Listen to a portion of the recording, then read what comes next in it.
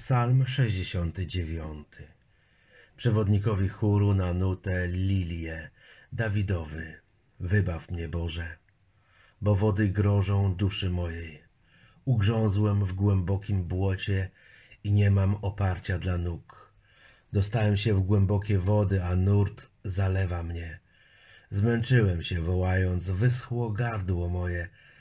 Zamroczyły się oczy moje od czekania na Boga mego. Więcej niż włosów na głowie mojej jest tych, którzy mnie nienawidzą bez przyczyny. Silniejsi niż kości moje są ci, którzy mnie zwalczają niesłusznie. Czy mam zwrócić to, czego nie zrabowałem? Boże, Ty znasz głupotę moją, a winy moje nie są Ci tajne. Niech się nie zawiodą z mego powodu ci, którzy Cię oczekują, Boże, Panie zastępów, niech przeze mnie nie okryją się hańbą ci, którzy Cię szukają, Boże Izraela. Bo to dla Ciebie znoszę hańbę. Wstyd okrywa oblicze moje. Stałem się obcy braciom moim i nieznany synom matki mojej, bo gorliwość o dom Twój pożera mnie, a zniewagi urągających Tobie spadły na mnie. Umartwiałem się postem, a stało się to hańbą dla mnie. Wziąłem jako szatę swój wór pokutny i stałem się dla nich pośmiewiskiem. Rozmawiają o mnie siedzący w bramie i do gry na strunach śpiewają o mnie pijacy. Ale ja modlę się do Ciebie, Panie, czasu łaski. Boże, wysłuchaj mnie w wielkiej dobroci swojej. W prawdzie zbawienia Twojego wyrwij mnie z błota, abym nie ugrzązł, Wyzwól mnie od nieprzyjaciół moich i głębin wód. Niech nie zaleją mnie fale, niech nie pochłonie mnie głębina i czeluść niech nie zawrze nade mną swej paszczy. Wysłuchaj mnie, Panie, bo dobrą jest łaska Twoja. Według wielkiego miłosierdzia Twego wejrzyj na mnie. Nie zakrywaj oblicza swego przed sługą swoim, kiedy jestem strapiony, Rychło, wysłuchaj mnie, zbliż się do mnie, wyzwól mnie, wybaw mnie przez wzgląd na nieprzyjaciół moich. Ty znasz hańbę, wstyd i zelżywość moją. Przed Tobą są wszyscy dręczyciele moi. Hańba skruszyła serce moje i sił mi zabrakło. Oczekiwałem współczucia, ale nadaremnie. I pocieszycieli, lecz ich nie znalazłem. Dodali żółci do pokarmu mego, a w pragnieniu moim napoili mnie octem. Niechaj stół ich stanie się dla nich pułapką, a ich uczty ofiarne potrzaskiem. Niech zaćmią się oczy ich, by nie widzieli. Spraw, by biodra ich zawsze się chwiały, wylej na nich zapalczywość swoją, niech dosięgnie ich żar gniewu Twego, niech zagroda ich stanie się pustkowiem, a w namiotach ich niech nie będzie mieszkańców bo prześladują tego, któregoś Ty uderzył i pomnażają ból zranionego przez Ciebie. Przydaj winy do winy ich, niech nie dostąpią sprawiedliwości Twojej, niech będą wymazani z księgi życia, ze sprawiedliwymi niech nie będą zapisani. Ja zaś jestem nędzny i zbolały, niech zbawienie Twoje podniesie mnie, Boże. Wysławiać będę pieśnią imię Boże, i dziękczynieniem będę je uwielbiał. A będzie to milsze Panu niż wół, niż byk z rogami i racicami. Niechaj ujrzą to pokorni i rozradują się. O wy, co szukacie Boga, niech ożyje wasze serce, bo Pan wysłuchuje biednych i nie gardzi więźniami swymi. Niechaj go chwalą niebiosa i ziemia, morza i wszystko, co w nich się porusza, albowiem Bóg wybawi Syjon i odbuduje miasta ziemi judzkiej i zamieszkają tam i posiądą ją. Potomkowie sług Jego odziedziczą ją i osiądą w niej ci, którzy miłują imię Jego. Psalm Dawidowy, który zawiera wiele takich mesjanistycznych elementów, które dotyczą cierpienia Chrystusa.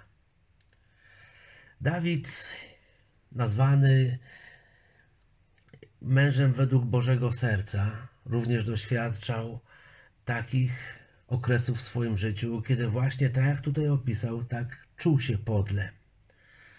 Zdradzony przez ludzi, opuszczony, pokrzywdzony, czuł się jak w błocie jakimś, w którym ugrzązł i, i nie ma oparcia, nie ma, nie ma żadnej stabilności w jego życiu. Jest to wołanie niewinnie prześladowanego. I nawet ze strony swojej rodziny, nawet ze strony najbliższych, ze strony matki, braci, tak to jest, tutaj jest napisane, hańbią go, oczerniają go, źle go traktują. Dawid to przeżywał, a jednocześnie widział siebie jako człowieka, który przed Bogiem stoi w sprawiedliwości i w prawdzie. W dziesiątym wierszu wyraził takie słowa: Gorliwość o dom Twój pożera mnie. I bardzo wyraźnie ko kojarzymy tą wypowiedź z tym, co o Jezusie było wypowiedziane.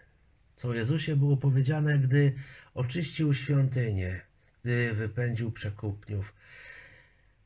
Gorliwość, żarliwość o dom Twój pożera mnie. Dawid był mężem sprawiedliwym i zabiegał o to, co prawe, a pomimo tego nie zawsze znalazł zrozumienie, poparcie, pomoc i błogosławieństwo ze strony tych, którzy winni mu ją okazać. W wierszu 27 czytamy prześladują tego, któregoś Ty uderzył i pomnażają ból zranionego przez Ciebie. Jest tu mowa już właśnie w proroczy sposób o Jezusie Chrystusie. Wiersz 22. Dodali żółci do pokarmu mojego. Pragnieniu, pragnieniu mojemu wyszli naprzeciw, napoili mnie octem. To Jezus, kiedy wisiał na krzyżu Golgoty, kiedy niesłusznie, nieuczciwie, niesprawiedliwie po ludzku.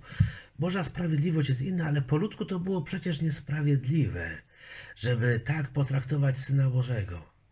Ale na tym polega Boża sprawiedliwość, że Boże miłosierdzie jest większe jeszcze. I Bóg w swoim miłosierdziu, w swojej łasce dopuścił do tego, że Jego Syn został przez Niego uderzony. Z powodu naszych grzechów Boży gniew spotkał Bożego Syna prześladują tego, któregoś Ty uderzył i pomnażają ból zranionego przez Ciebie. Nasze zbawienie jest w Bogu. Kiedy patrzymy na ostatnią część tego psalmu, znajdujemy tam taki już element y, rozradowania, pocieszenia. Całkiem inny klimat już pojawia się tego psalmu z wielkiego cierpienia, bólu, niesprawiedliwości ludzkiej, zemsty, niechęci, złości ludzkiej, nienawiści, e, wchodzimy w inny klimat tego psalmu. Ja jestem, 30 wiersz, nędzny i zbolały.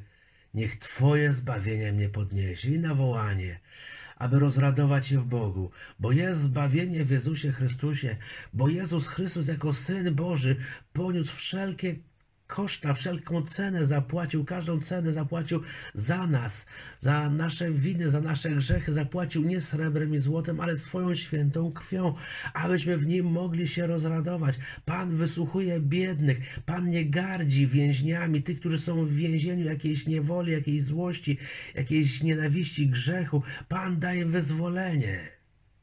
Niech chwalą niebiosa, niech wszystko, co się w nich porusza, chwali Pana. Bóg wybawi Syjon, Bóg jest naszym wybawicielem. On odbuduje to, tak jak jest napisane, odbuduje miasta ziemi ludzkiej. To, co grzech zniszczył w naszym życiu, Bóg to odbuduje. Bóg chce czynić nowe rzeczy w naszym życiu. Ten psalm wyraża tą wielką cenę, jaką Jezus Chrystus za nas zapłacił, ten tragizm, tą tragedię, którą Jezus poniósł za nasze grzechy, po to, aby nas wyprowadzić z niewoli. Abyśmy mogli rozradować się w Bogu, abyśmy mogli mieć wolność od naszych grzechów, od związań, abyśmy mieli pokój i radość w naszych sercach. I ostatecznie mówi o tej ziemi obiecanej. To jest nasza ojczyzna w niebie odziedziczymy ją, osiądziemy w niej, dlatego że miłujemy Pana. To był już wiersz 37. Niech Bóg wszystkich błogosławi. Niech z jednej strony będzie świadomość w nas, że Jezus zapłacił za nas najwyższą cenę, że Jezus poniósł karę śmierci, że Jego pojono octem, że, że Jego krzywdzono, że został dotknięty Bożym gniewem z powodu naszych grzechów, ale ludzie jeszcze bardziej dobili Go, jeszcze bardziej Go skrzywdzili. Po to, abyśmy dzisiaj mogli wywyższać zmartwychwstałego jako tego, który jest naszym osobistym Panem i Zbawicielem. Jemu niech będzie chwała. Dziękuję Ci, Jezu, za to, że przeszedłeś tą drogę krzyżową. Dziękuję Ci za to, że wziąłeś na siebie cały ciężar naszych grzechów i win i zostałeś zbity, skatowany, umęczony aż na śmierć. Przelałeś swoją krew. Ale trzeciego dnia zmartwychwstałeś i żyjesz i my z Tobą żyjemy i odziedziczymy Królestwo Niebieskie tam, które przygotowałeś dla nas w niebie. Niech Tobie, jedynemu Bogu naszemu, będzie chwała i cześć z naszych serc. Amen.